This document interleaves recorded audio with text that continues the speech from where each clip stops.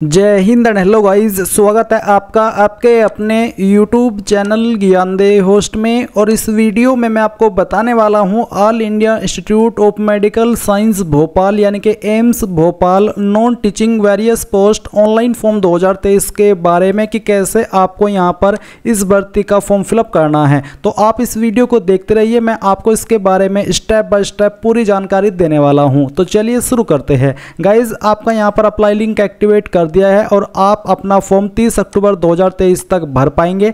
And form भरने से पहले आप ये भी जान लीजिए कि कौन सी पोस्ट के लिए कितनी वैकेंसी है। तो आप देख सकते हैं, इन सभी पोस्ट पर ये वैकेंसी निकाली गई है। And application fees general O OBC EWS से बारह सौ और एस सी विकलांग से छः सौ ली जाएगी। इसके अलावा आप यहाँ पर देख सकते हैं, ऑफ़िस स्टोर्स अटेंडेंट मल्टीटास्किंग की पोस्ट पर सिंपल दसवीं पास या फिर आईटीआई से आप अप्लाई कर सकते हैं। आईटीआई कंपलसरी नहीं है, दसवीं से भी अप्लाई कर सकते हैं और आईटीआई से भी अप्लाई कर सकते हैं। बाकी की जो पोस्ट है, उन पर क्या क्वालिफिकेशन चाहिए, वो भी आप यहाँ पर चेक कर सकते हैं। अब अगर आप इनमें से किसी पोस्ट पर एलिजिबल है अप्लाई करने के लिए और आपका इंटरेस्ट है फॉर्म को भरने का तो आप कैसे फॉर्म भरेंगे, वो भी आप यहाँ पर जान लीजिए। आप इंपॉर्टेंट लिंक्स के सेक्शन में आइए और अप्लाई ऑनलाइन लिंक के ऊपर क्लिक करके यहाँ पर आ जाइए। यहाँ पर आने के बाद में एप्लीकेशन फॉर्म के सामने जो अप्लाई का लिंक है, आप इसके ऊपर क्लिक कीजिए। एंड देन आपके सामने इंटरफेस आ चुका है। अब आपको यहाँ पर आपका फ़र्स्ट नेम टेंथ के सर्टिफिकेट के अकॉर्डिंग एंटर करना है। फिर आपको यहाँ पर आपका लास्ट नेम यानी कि सर नेम डालना है। अगर सर नेम नहीं है तो आपको यहाँ पर एन ए लिखना होगा, यानी कि नॉट एप्लीकेबल इसके बाद में आप यहाँ पर आपका फादर नेम एंटर करेंगे टेंथ के सर्टिफिकेट के अकॉर्डिंग और इसके बाद में आपको यहाँ पर आपका मदर्स का नेम एंटर करना है। इसके बाद जो भी आपकी डेट ऑफ़ बर्थ है, वो आप यहाँ पर कैलेंडर के ऊपर क्लिक करके सिलेक्ट कर लेंगे। पहले आपको आपका ईयर फिर यहाँ से आपका मंथ और फिर यहाँ से डे तो आपकी डेट ऑफ़ बर्थ इस तरह से आ जाएगी। जेंडर आप यहाँ पर अपना सिलेक्ट करेंगे। मैरिटल स्टेटस क्या है?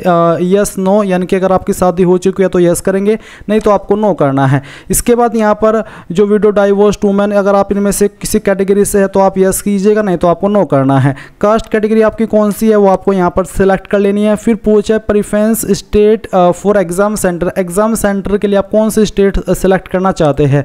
वो स्टेट आप सेलेक्ट कीजिए एंड देन फिर आप इन सभी जानकारी को चेक करते हुए आगे बढ़ाई के ऊपर क्लिक कीजिए। अब आपके सामने यहाँ पर कुछ और जानकारी आ चुकी है जहाँ पर पूछा विकलांग का क्वेश्चन की क्या विकलांग है और आपकी विकलांगता 40 परसेंट है, उससे ज़्यादा है। अगर हाँ तो आप 11 पॉइंट में यस करें, नहीं तो आपको नो करना है। फिर इसके बाद में यहाँ पर थर्टीन पॉइंट है do you want scribe at the time of exam यानी कि एग्ज़ाम के समय क्या आपको स्क्राइब यानी कि अलग से कोई चाहिए लिखने के लिए? अगर हाँ तो यस नहीं तो आप इसमें भी नो कर देंगे। या फिर अगर आप यहाँ पर इलेवन पॉइंट में नो कर रहे हैं, आप विकलांग नहीं है तो फिर आपके सामने ऑप्शन एक्टिवेट नहीं होंगे। फिर आती है अदर डिटेल क्या आप एक्स सर्विसमैन है अगर आप है तो यस कीजिएगा, नहीं तो आपको नो करना है। फिर पूछा है do you have already secured employment in civil side अगर आपने सिक्योर कर लिया सिविल साइड में तो आप यस कीजिएगा, अगर आपके सामने ये ऑप्शन एक्टिव है। अगर नहीं है तो आप इसको खाली छोड़ेंगे। फिर इसके बाद में यहाँ पर सवाल है, नाइनटीन पॉइंट की are you regular employ of state government autonomous institution of central and state government अगर आप ऐसे कैंडिडेट हैं, जिनकी सर्विस है और सर्विस का पीरियड कम से कम तीन साल का है, इस फॉर्म को भरने की लास्ट डेट तक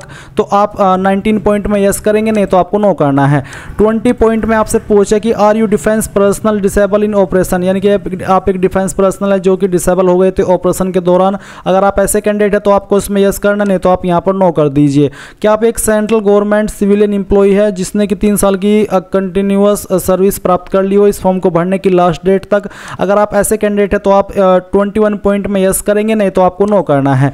ट्वेंटी पॉइंट है कि क्या आप कभी किसी कोर्ट के द्वारा कन्विक्ट यानी कि दोषी पाए गए हो? अगर हाँ तो यस नहीं तो आपको नो करना है।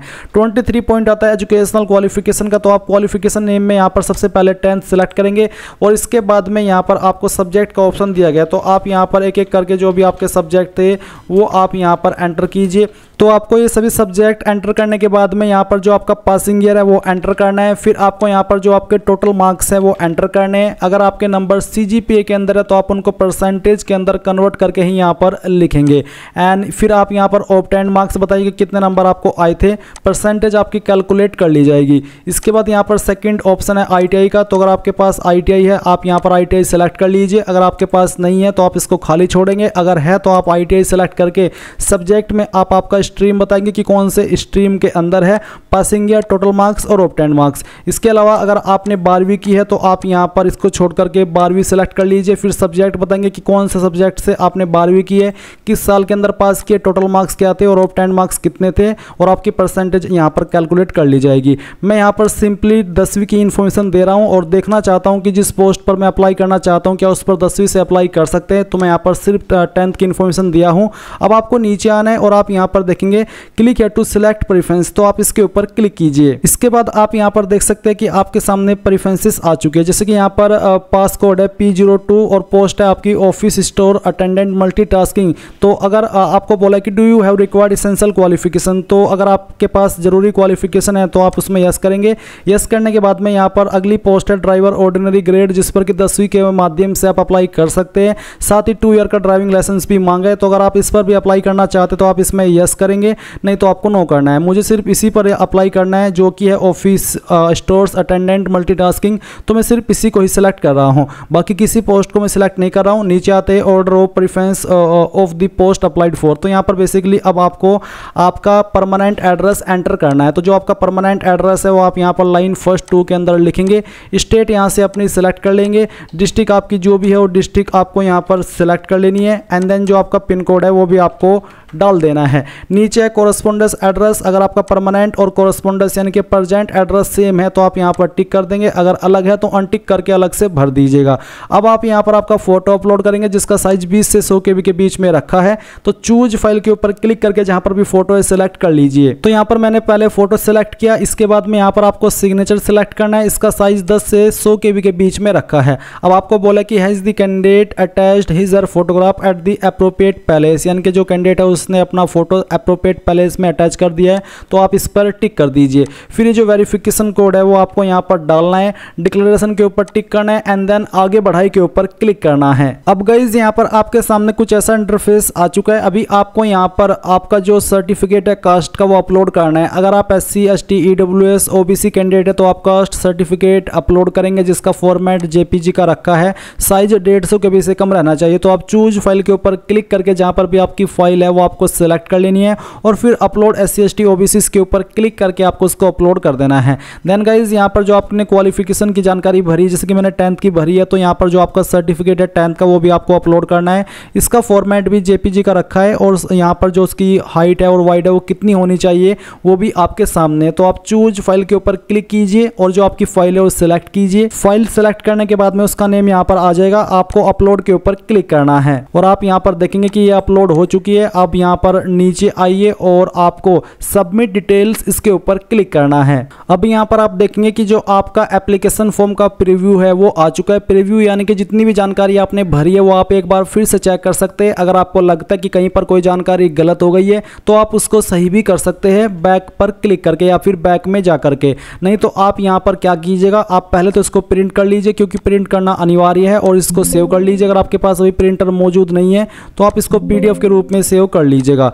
तो चलिए हम यहाँ पर इसको इस तरह से सेव कर लेते हैं और फिर अब आप यहाँ पर प्रोसीड टू पेमेंट इसके ऊपर क्लिक कीजिए। इसके ऊपर क्लिक करने के बाद में यहाँ पर आपको पेमेंट के पेज पर ट्रांसफ़र कर दिया है। आप अपनी application fees, net banking, debit, credit card, UPI wallet, यानी कि जिस भी माध्यम से जमा करना चाहते हो कर सकते हैं।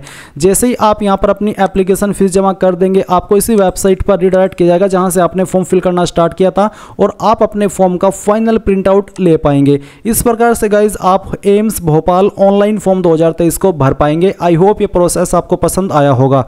सो थैंक्स फॉर वॉचिंग जय हिंद।